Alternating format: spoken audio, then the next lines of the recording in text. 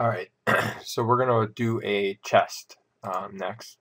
And basically what a chest is, is nothing more than a, a box. So we're just going to put our box up like so. And um, I don't think I want a chest this big compared to the dresser, so we're going to just scale this stuff down a little bit. So we've got a chest like so. Um, I don't need as many oh, boxes here. Um, and then pretty much all we're going to do convert it to an editable poly. Um, what we're going to do is we are going to go into the polygon level, select the top, and we will inset it, and something like so. And then what we're going to do is we're going to extrude it downward. Now, we'll just uh, zoom into this here, and pretty much select this and just move it down and move it accordingly. So there's our toy box, okay? Now it doesn't doesn't seem like much now, but then what we can do if we want a lid is we will go off the edit poly, so or go back onto the edit poly, and we're going to mirror it into the z-axis. We're going to do a copy here. Uh, let's see here, and we're going to offset it like so. So we're just going to get it close as possible, say OK, and then we're going to go into that edit poly, and we're just going to move this down so that the top isn't as big as the, the bottom. And then uh, before we open it, what we're going to do is we are actually going to zoom over here, and I'm going to put hinges on this side. So a real simple, fast way to do a hinge is to um, create a tube. Okay, and let's uh, zoom over here. Um, let's actually zoom up into this one here. And if you want to construct an actual hinge and make it actually look, um, you know, the way it should be looking, then what you want to do is you want to construct a uh, tube like so, okay, and then like this. Now, not as big as this, of course. Um, so what we're to do is we're just going to zoom in like so. Um, and pick about how wide you want it. Pick about the radius you want to go with something along the lines of so. And um, let's zoom up in there so we can see what it looks like. So with this hinge, what I'm going to do is pretty much something along lines like so. I think that'll be good. Um, and I don't need to do 18. I'll probably do, let's do like 12. Yeah, let's do something like 12 here. Okay, so then what we're going to do is we're going to convert this into an editable, I'm sorry, 10. We're going to convert this into an editable poly, um, like so. And then this is kind of the weird part. What we're going to do is we're going to grab the vertices, or the, the edges on this side here, and basically extrude those outward. And we're actually gonna I'm gonna just save some time and I'm gonna grab the ones on the bottom side here here too. So we're just gonna extrude those outward. Okay and not that much but eh, something like something like uh, that. That looks good. Okay then what we're gonna do is we are, let's zoom up in here, I'm going to isolate, control, uh, or alt Q, uh, nope, alt. So I'm just going to isolate this here. And then what we're going to do is, and this is kind of weird, but we're going to make it work here. So what we're going to do is we're going to actually select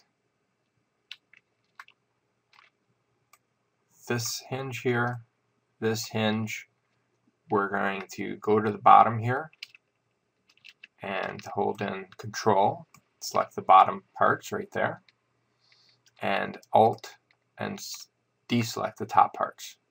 So we've basically selected those parts here and um, what we're going to do is we are going to detach that alright and then to say OK so then what we're going to do is we're going to take this top part here and go into Edit Poly.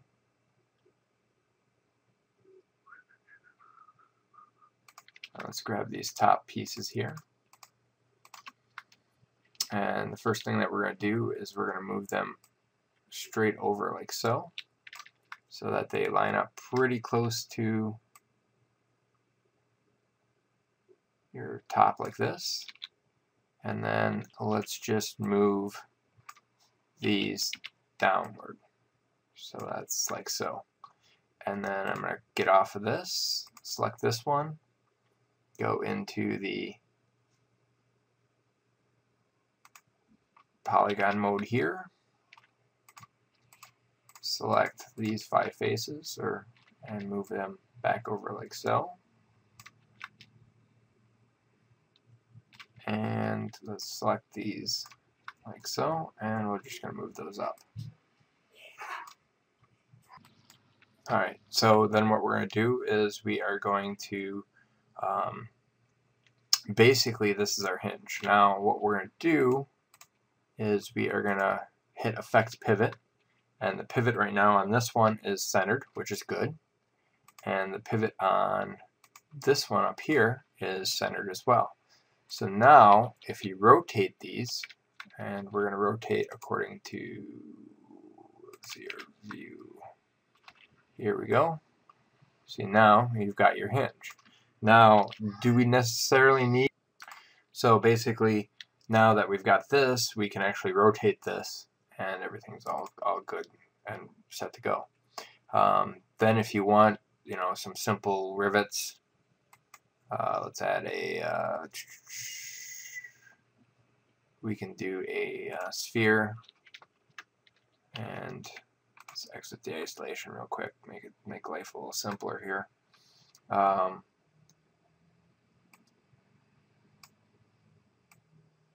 there we go. Scale that down a little bit. And uh, let's move that over where we can actually see stuff. And um, now we can take this. Let's lower the segments down a little bit here. And let's chop it. Uh, let's go from squash and oops let's see if we can do chop. I think chop's the other direction. No just the way we created it. Okay so basically what we can do is squash this like so.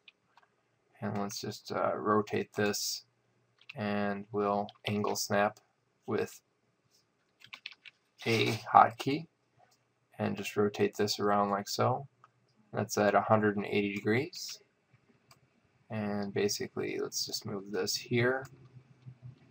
Let's zoom up in there so we can see it.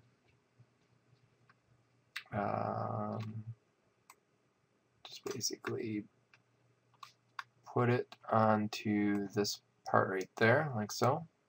So now we've got rivets.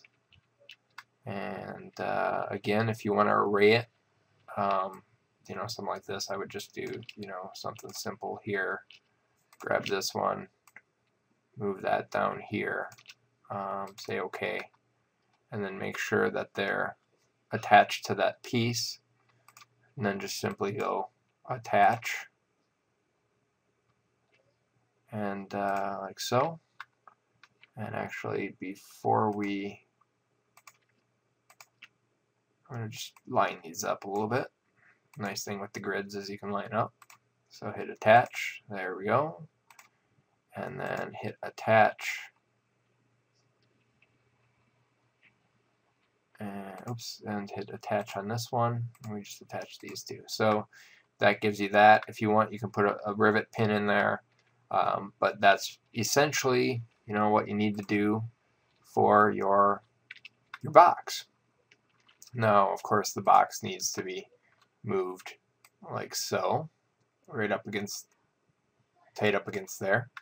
Um, and then let's do another one. And let's uh, move this down like so. We're just going to do a copy. Um, we can measure it if you want, otherwise I'm just going to eyeball it here. And then now what we should be able to do is take and put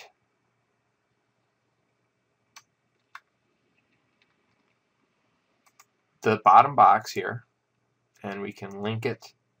We can link these two here and we can link that to the bottom box.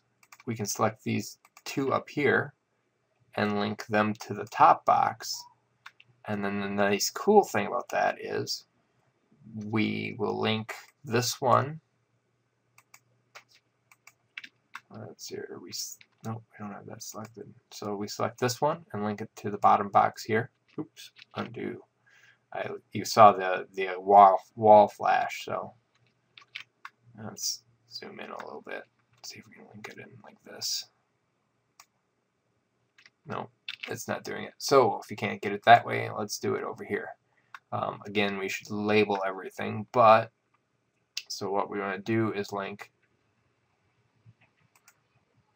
this box to this box or I'm sorry or vice versa. So basically this is the top and we're just going to click link and we're going to link it to this box. Okay like so. And we're going to call we're going to grab this one. We're going to call this toy box. Alright and then the next thing we want to do is we want to go to the hierarchy effects pivot and let's go in here. And move the pivot right up here like so.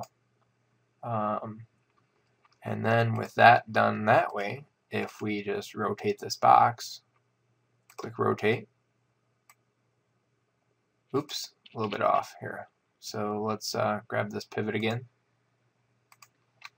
and uh, move it just over like so. That's pretty close. So now let's rotate this box. So if we rotate this box, you have a working hinge set. And you can kind of place it against the wall and do what you want with it. Alright? And so that's pretty much, and again, the nice thing is, if you want to move it, you can just move and place it up against so.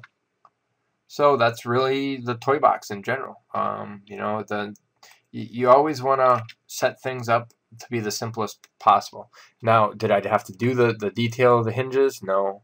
I could have probably got away with this, but it depends on how hyper realistic you go. You know, for a game model, this is fine. For a, you know, motion picture, no. You gotta do the extra work on it. But there you go. So there's that.